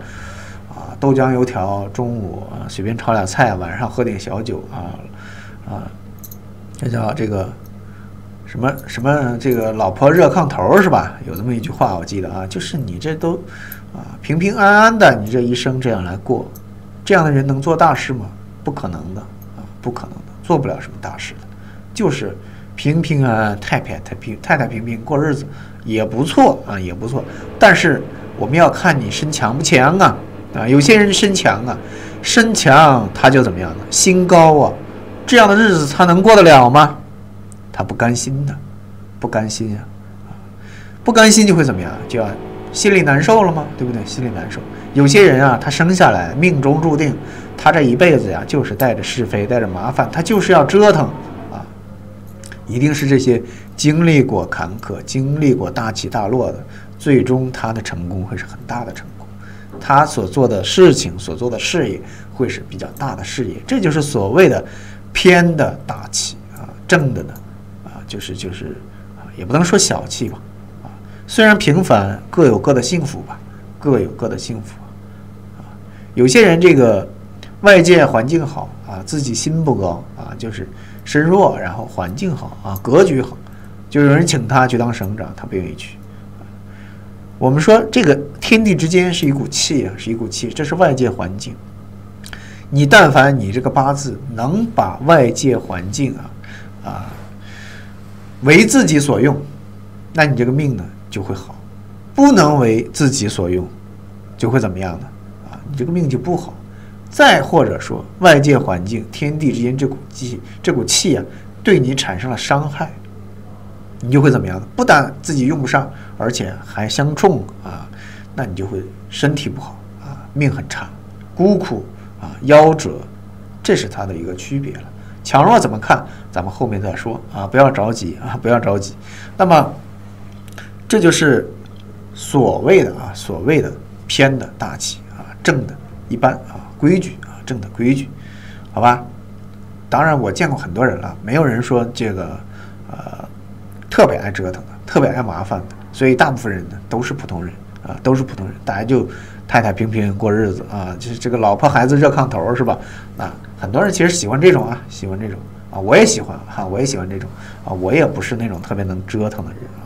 有些人他是啊，自己心高嘛，所以他就折腾。但是你心高，然后呢啊，格局不好，外界环境不好，那你怎么样呢？不得志嘛。对不对？就不得志了。就是自己这个八字的格局不好，虽然心高，就一直折腾，但是一直不成嘛，对不对？你，他只有你的格局跟你的这个心气啊，啊，两个是比较匹配的。你心气七十分啊，你格局七十分，两个匹到一起了，能成事了。心气二十分啊，外边外面的这股气九十分。也做不成事的，对不对？外界环境对你很好，你只有二十分，你不想上的，对不对？或者说你自己九十分，外界环境二十分也匹配不上嘛？啊，你自己很想上去，啊，外界环境不行，啊没这个条件，啊，就上不去了，啊，这是我们从大的方面来说了啊。那么，真正高明就是骗的啊，就是骗的。大家也不要想着我就是我要当那个高明的人啊，我就要当市长。啊，就要当我就要做两两个亿、三个亿的生意，哪有那么多生意给我们来做嘛？对不对？没有的啊，没有的，大部分都是老婆孩子热炕头了啊。这个每个月赚点钱，七八千块钱、八九千块钱，然后这个一辈子赚个多少钱啊？两三百万，对不对？两三百万，然后有个房子，有个车开，然后有孩子上学，然后这个还还好吧，还好吧，这就是普通人的生活了。就是普通人的生活，然后这个不是有人说挣多少钱最幸福吗？幸福感最强啊，三万块钱、四万块钱、三四万块钱，这个收入呢，会让人呢比较有幸福感。你钱太多了，烦恼也多，是非也多啊。有些人自己扛不住的，你让他一个月挣二十万啊，天天你睡不了觉啊，睡不了觉。你挣了钱还要怎么样？还要考虑怎么样去啊？第一个还不要人来总是找我借钱是吧？然后第二个我怎么样理理这个财呀？啊，我这个钱太多了啊，买点什么东西啊？做点啊，弄点这个不动产呀，弄搞点房子啊？还是我找人去投资啊？啊，是吧？这些问题都来了啊，都来了。你就挣个三四万块钱，两三万块钱，很有幸福感，对不对？啊，这个家里老婆买点化妆品，买点这那。都够用啊！孩子上学啊，每个上大学每个月拿个两三千的这个生活费，你也不觉得压力大，还能剩点钱干嘛呢？出去玩一玩，对不对？这就是两三万块钱它的一个好处了啊！好处，挣的再多，太多的烦恼了！太多的烦恼了。而且来说，挣那么多钱的人，晚上能睡好觉吗？睡不好的，随时都有可能有事儿，对吧？今天这个高管不干了。啊，明天你这个客户啊投诉了，对吧？事情很多的，都是是非啊，都是是非，好吧？那我们接着说这个偏财，偏财的人什么样？啊，我们稍微讲快一点啊。偏财的人啊，第一个自由职业者啊，或者啊这个这个有副业的啊，有兼职的，这是偏财的人。不知道明天挣多少钱嘛？对不对啊？通常自由职业者多一点，相当于个体户，对吧？万元户哈，以前叫万元户是吧？自由职业者，然后第二个呢，没有规律的财富啊，包括横财，这个之前咱们都说了。然后第三一个呢，还有什么钱呢？众人之财啊，众人之财，比如说这个基金经理对吧？搞理财的那些人啊，加杠杆给人加杠杆啊，拿大家的钱去再去投资，赚了钱再给大家分的这种。那么第四个呢，对于男命来讲呢，代表着情人对吧？代表了女朋友啊。然后女命呢，也代表父亲啊。年柱上不管男命女命，统一就代表父亲了啊。你说这个在年柱上面，你小时候偏财，年上偏财，不管男的女的，哪有能力去挣钱嘛？零到十五岁嘛，还在上初中呢，对不对？那挣不到钱嘛，挣不到钱。所以代表父亲啊，就是你爸爸挣的钱。然后偏财和桃花有什么区别？有些人特别喜欢讲这个桃花，是吧？桃花，我们说偏财代表男性的这个情人啊。这个小三，那桃花是不是是小三？是不是情人呢？其实不是，桃花呀，更像是什么呢？一夜情，露水情缘啊，就是偶尔碰上一次了啊，碰上一次了，然后这个啊，短暂的啊，两个人是没有感情的啊，桃花是没有感情的，就是一种现象而已啊，可能遇上了，对吧？那随后呢就没有了啊，就没有了，很短暂的。而偏财呢，我们说不管是啊小三也好，还是说这个啊。隐藏的情人也好，他是一个有感情的、长期的，而且很多的呢是在事业上会能帮助你的啊，帮助你的。这个是偏财和桃花的区别啊，大家知道一点。桃花是神煞里面的东西啊，大家先不用管它啊，不用管它。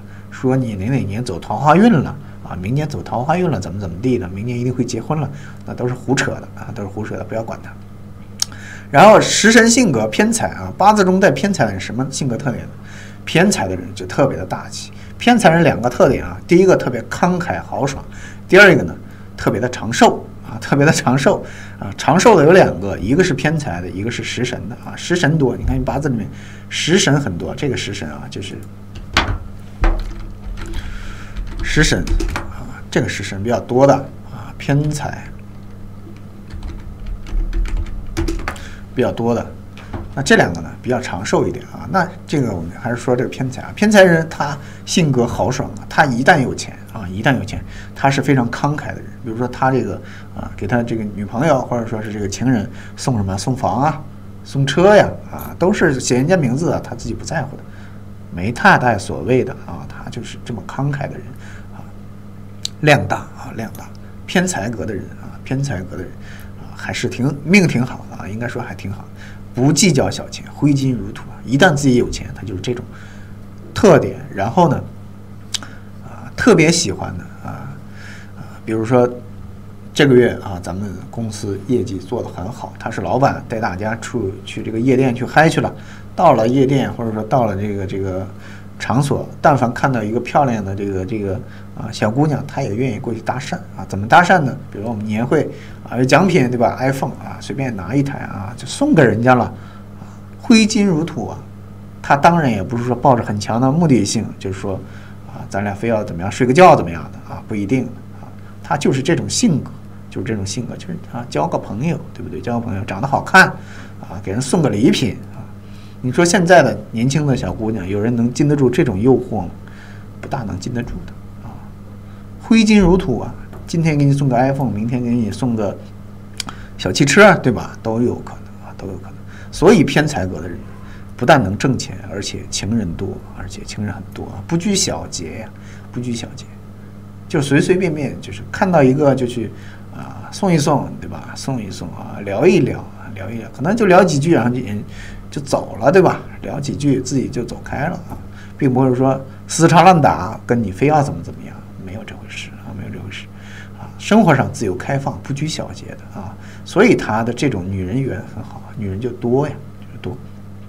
第三个呢，就是啊，有韧性啊，天生的创业者啊，天生的创业者啊，性格好嘛，对吧？很豪放啊，该哭就哭，该笑就笑，对吧？所以他这个长寿啊，对吧？他有什么负面情绪，及时的就能发泄掉了啊，发泄掉了，不容易得癌症，对吧？不容易得癌症，跌倒了自己能爬起来这偏财的人。然后第四呢，胆子也大，创业的时候敢于孤注一掷啊！咱们看好的这个赛道，咱们就投吧，啊，对吧？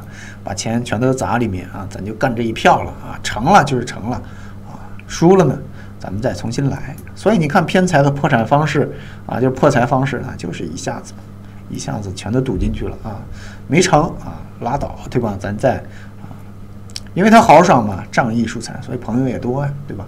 咱再拉拢拉拢大家，咱再干一票，对吧？重新再来，所以天生的创业者啊，天生创业者。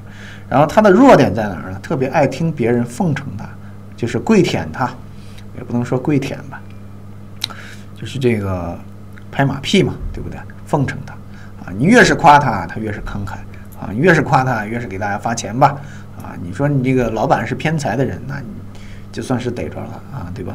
你出去出差，比如说这个普通的啊正财格的老板让你出去出差，他抠啊啊，他这个反正就是不太大方吧，对吧？你出去这个住住宿啊啊差旅费啊这些报销啊啊拿发票回来一分都不能差的，对不对啊？给你报销。偏财的个这个老板可不一样，先给你拿十万块钱去，对吧？先把事儿给我办成了，对吧？这个最重要的啊，事儿给我办成了，那些东西啊你能啊。搂点钱啊，算你的本事啊，算你的本事啊，报点糊涂账那都无所谓的啊，他都无所谓的，事儿一定要办好，这是他的一个一个缺点吧啊，也讲排场，好面子对吧？喜欢别人捧他啊，这是他的一个性格方面的缺点。但是他这个好处是不是比较多呀？缺点少一点啊，缺点少一点，就是这种啊偏财的人挺好玩的啊，偏财的人年上偏财，我们说年上他爸爸挣钱了对吧？啊小时候他爸爸挣钱了啊，家里啊不会太差的，不会太差。如果我们说这个偏财啊，做旺做衰就又有区别了，对吧？做旺做衰，做衰就是他爸爸这个生意啊，从他小时候啊就到达顶点了，啊做不上去了，做不上去了，可能也能维持。做旺呢，对吧？他这个小时候他爸爸生意做得越来越好了啊，越来越好了。然后月上偏财啊，月上偏财。什么年纪啊？我们说这个一柱十五岁，大家可以把一柱再分成两个字啊，再分成两个字。比如说这个，啊年柱零到十五岁，天干啊八岁，对吧？啊地支七岁啊，行吧？这样一分，大大概啊，大概。你非要说我就平均分七七点五岁，七点五岁，行不行？也行啊，也行啊。那么我们啊一柱七点五啊一个字儿七点五到这个月柱天干这是多少？七点五乘三是吧？二十二岁半。你就十十六岁到二十二岁半，十六到二十二十郎当岁吧，你就可以理解为，对不对？啊，二十郎当岁这个啊年龄上面啊，对于一个男性来讲，一个小孩来讲，放到我们今天大学是不是还没毕业呀？大三大四这样子啊，他能挣什么钱呀？这里的偏财，偏财是大财呀，对不对？很大一笔钱，他能做什么生意？当然我知道有些学生在学校里面做一些生意，但是也都挣不了什么大钱了啊，谈不上。这个年龄段偏财，按女人讲啊，按女朋友讲，对不对？三十岁之前，对于男性来讲，还是女朋友重要一点啊，女朋友比钱重要一点啊。所以呢，那这里呢就是论女朋友啊，谈恋爱嘛，谈恋爱不论财啊，不论财，考虑人之常情啊，考虑人之常情。当然，有些极个别的人啊，极个别的人，在学生时期，他也。啊，创业对吧？在这个卖一卖床单被褥啊，在大学里面卖一卖旧书啊，啊，反正卖什么都有，反正也都折腾折腾，对吧？勤工俭学嘛，啊，所谓的勤工俭学，那最终挣钱了吗？啊，挣到钱的极少数了啊，挣个几万块钱都算是啊，凤毛麟角啊，凤毛麟角。所以这里大部分时间啊，大部分人，或者说百分之九十八、百分之九十九的人。在这个年龄段就是搞对象啊，那他就是偏财，就按女朋友来讲了，啊，这是这个啊，然后月做偏财啊，月做偏财，二十三到三十岁了啊，也就月柱地支偏财啊，啊，三十岁了，将近三十岁了，谈婚论嫁了啊，谈婚论嫁了，那我们这里可以论女朋友，也可以论财，对不对？你已经大学毕业了。你已经走向社会了，或者说我就高中毕业就走向社会了，已经混了个七八年了，对不对？混了个七八年了，那你这个时候呢，我们就可以论点钱了，对不对？论点钱了啊，这里偏财啊，可能做了点小生意挣了点钱，那么啊，更多的还是说我们他到了论这个这个婚姻的年龄了，婚姻的年龄，这是月下啊，月下，好吧，然后自作偏财。自作偏财，这个就，啊，自己做对吧？自己做偏财，这个位置啊，日柱地支是什么？日柱地支，夫呃这个这个夫妻宫对吧？妻子之位啊，但是妻子之位应该做正财，你这里放了个偏财啊，放了个偏财，什么意思呢？第一种可能呢，就是这个偏财啊，他们俩这个时候没结婚的啊，没结婚的，就是他在啊事业上面会有帮助你，会有帮助你。后面我们再看他后面石柱上面啊有没有正财啊？如果有正财，可能他这个扶正了，对吧？扶正了啊。那么那么还有另外一种情况，就是这个时候他已经结婚了。已经结婚了，这里再做偏财，就是有不是老婆的女人啊，在帮助他了，而且是在事业上面帮助他呀。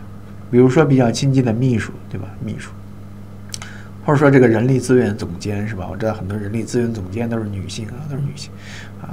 人之常情，还是要考虑人之常，好吧？当然你说这种情况百分之百发生嘛？或者说你看出来要跟人讲啊，不一定要讲，对不对？这个男人来找你看这个东西。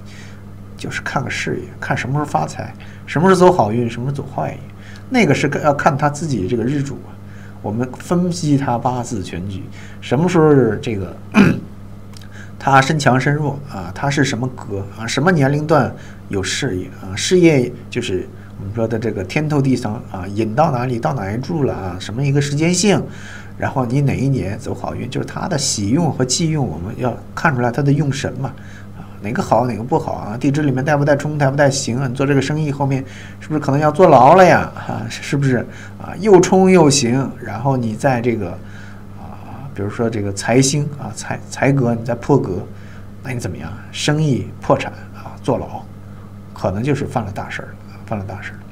就是生意啊，就是事业啊，要是坏掉，那一定就是他成的这个格呀破格了啊，破格了。这个我们后面再说啊。破格，然后你再碰碰上冲刑，普通的破格只是啊事业遇到一些挫折，遇到一些困难了。如果再再冲呢，啊你这个困难就更大了，可能是出了个什么事儿啊，导致你遇到这个破。如果再再刑呢，那就坏了啊，这就坏了，涉及到一些司法性的内容了啊，可能要坐牢了啊。你这个事情啊啊，不但要破产，还要坐牢。还有一些，比如说他是这个自己的事业跟女人绑一起的啊，有可能就是因为小三他这个事业呀啊。下面一冲，不但啊，就是因为搞小三这个事情啊，事业败露了，对吧？我们知道有些男的，是不是靠娘家，不是靠娘家，靠他媳妇儿家起家的，对不对？从他老丈人那弄了一些这个资源，弄了一些这个东西来做生意，做起来了。但是他做起来之后呢，又搞小三，对不对？那你这个事情啊，闹大了，闹大了，可能就是冲啊冲。那你闹大之后怎么样呢？因为这种事情啊。老丈人一发火，对吧？资源不给你了，哈，不给你了，把自己的事业也给弄没了，也给弄没了啊，生意做不下去了，这就是因为啊，各种各样，这是里面的细节了，这叫什么？身内事。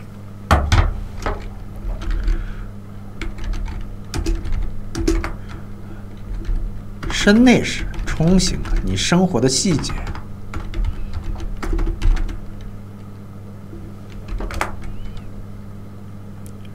对吧？身外事呢？外界环境、格局，你做事业有没有这个条件？有没有这个环境？有没有这个格局啊？对不对？这是一个身外，一个身内啊。细节我们再论啊，细节再论。然后这个。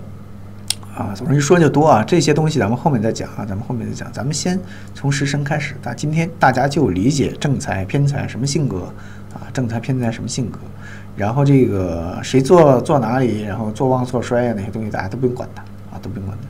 上完今天这节课呢，大家都记住啊，正财格的人啊，这个这个怎么怎么样啊，偏财格的人怎么怎么样。就可以了。你拿到一个八字啊，通常我们来说，食神掌握的比较好。你拿过一个八字，你一看，你大概就知道这个人什么性格。看个多少成？看一个四成五成也问题不大啊。我就看他食神啊，这个人断他的性格，看个七七八八啊，看个七七八八。真正高命的人才去给他去，再论里面这个格局啊，再论里面的这个身内身外啊、六亲呐这些关系。高命的人怕什么破财？不怕的，对不对？你有钱有势了啊，看个性价比。十座偏财啊，十座偏财什么样啊？天透地藏成偏财格，这个人，我们所有的格呀，所有的天透地藏啊，你会发现，大家就看这个石柱地支啊，比如这里是寅寅藏甲丙戊，甲是不是庚的偏财呀？甲是庚的偏财，那他年柱偏财通到时支偏财，这样通下来，这个时间性啊，大家看这个时间性，从他小时候一直到他晚年，他做的这个事儿啊，跟家里有点关系啊，跟家里有点关系，可能爸爸是开玻璃厂的。啊，他继子承父业，对吧？子承父业，一直干到老，啊，干到老到时之退不了休啊，是别人的贵人呀，啊，这这个这个厂子没有他转不下去，啊对吧？老厂长了，啊，我正常六十五岁退休了，啊，六十五岁之后呢，我还得来厂子里面看着，对吧？哪个小子，哪个哪个混蛋给我搞坏了，对吧？啊，监督一下啊，监督一下，退不了休啊，啊，所有的格局你通到时时柱地支，那这个人就是一个什么人呢？不服老啊啊！不服老啊！明明已经退休了，然后还要管点事啊，给自己找点事干哈，给自己找点事干啊，比较劳碌一点吧啊，比较劳碌一点。这个是啊偏财啊偏财通过来的啊通过来的，跟家里有关系啊。这个他这个事情，你比如说从年柱啊通到月柱，跟家里有关系吗？啊，这个应该也有点关系，但是不是那么大了啊。不是那么大了，因为月柱人在二三十岁的时候还是挺自负的，对不对？很自负的，大部分人的想法不靠家里啊，老子要自己干啊，老子要自己干啊。可能他爸给他介绍一个什么走走关系啊，弄一个什么科长啊，弄一个这个这个小公务员事业单位进去先干着呗。那后面可能自己不干了哈，自己不干了辞职了，然后我要去创业了啊，我要去北上广深闯一闯了，我要出去了，看一看外面的花花世界啊。然后遭到社会的毒打之后呢，啊，到了中年可能又回来找他爸，对吧？咱还是啊弄个公务员干干吧，对吧？啊，又介绍进去了，哈，可能一直干到老了啊，有这种啊。然后十座正财，啊，这个刚才其实跟大家说了，对吧？双七之命啊，我们怎么判断双七之命？看它前面有没有正财啊？比如说我们这个啊，时柱地支卯，卯藏乙，乙为庚的正财，对吧？晚年，哎，我们一看晚年正财。啊，尤其是在时支上面，时啊时柱上面啊，这个天干上面，我们就不不管它了，不算双七啊。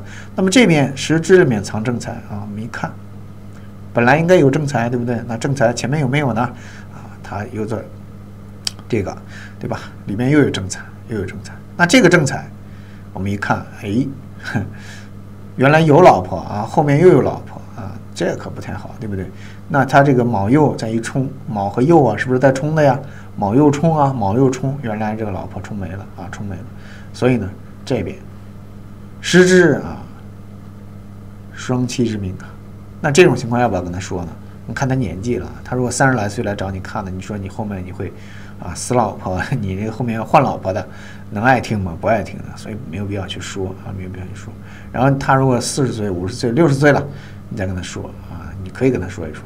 但这里面大家注意啊，这里是错的啊。这个庚卯是不是没有庚卯啊？这应该是这个举例的时候给大家这个改过来了，对吧？我给你们改一下吧。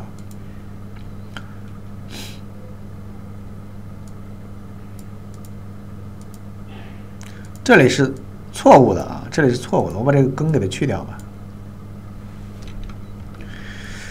嗯。辛卯也不对呀，啊，辛卯也不对，辛卯的话那边就不是 就不是正财了，然后我就这样写吧，你们知道这个东西是一个错，好吧，我给你们标个红，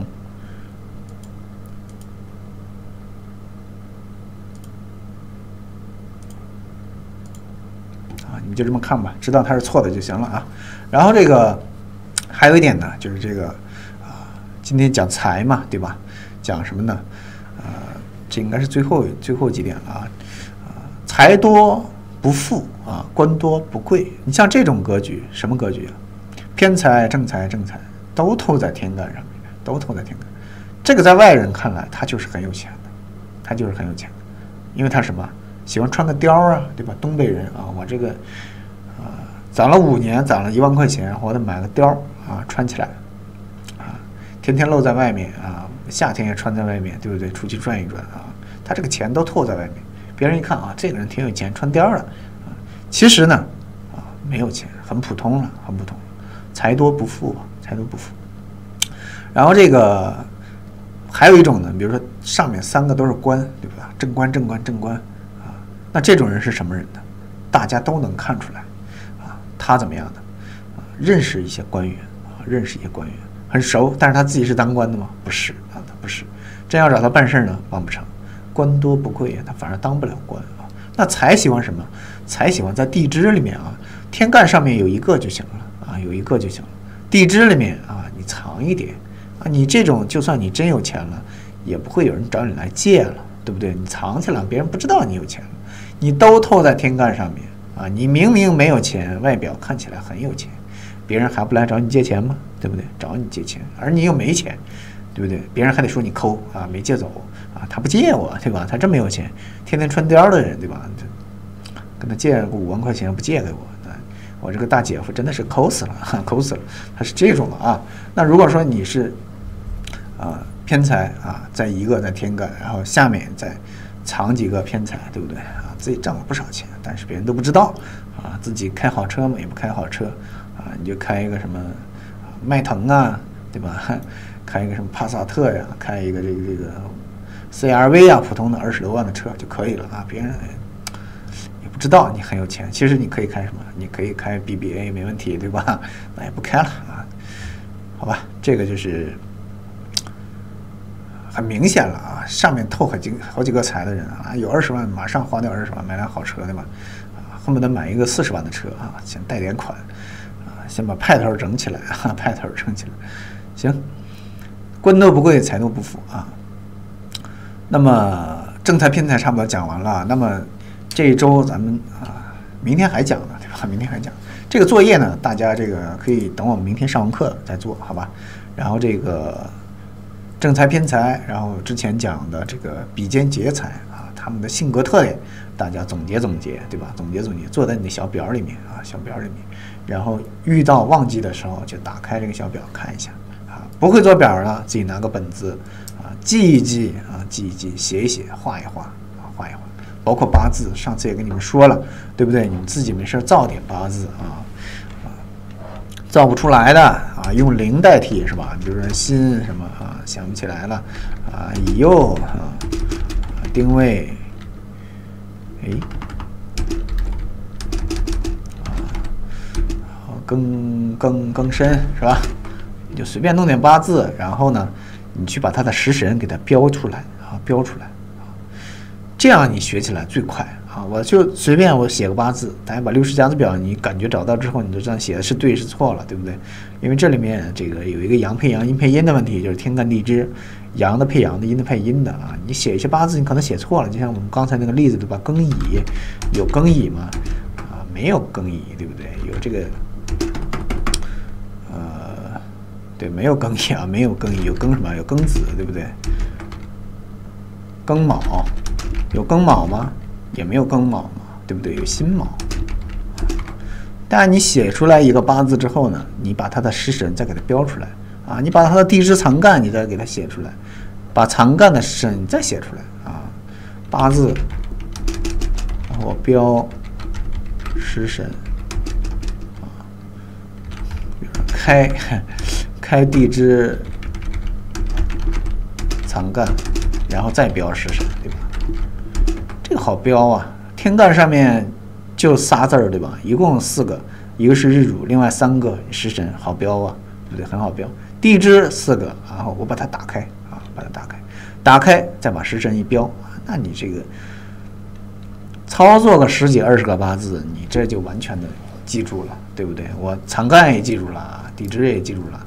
啊，食神也理解了啊，食神也理解了，什么天透地藏，什么坐呀，什么隐呀，对不对？我都明白了啊，这个就打下一个很好的基础了，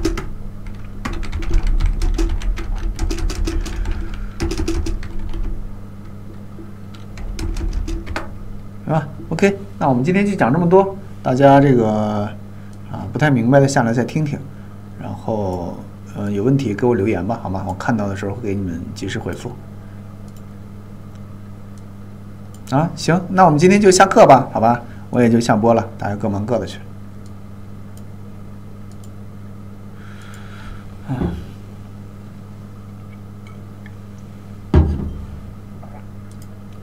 嗯，好的，啊，老师就下了啊，你们你们各忙各的。